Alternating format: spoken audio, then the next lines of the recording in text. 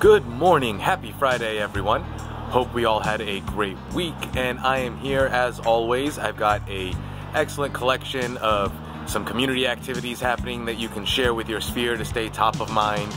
And like last week, I've got an excellent charity that we can make a donation to or that you can help share to spread a positive message with your community. I'm sticking with the same charity, Mission Oxygen, to help fight some of the terrible issues that are going on in India as a result of the COVID-19 pandemic. Outside of that, I am on vacation all of next week with no access to email or phone, but there is a great list of people here to support you. If you have any questions, feel free to reach out to your SSAs or the FMM, Kristen Kelly, or your managers, Greg and Todd, if you have any questions. I'll be back in about a week.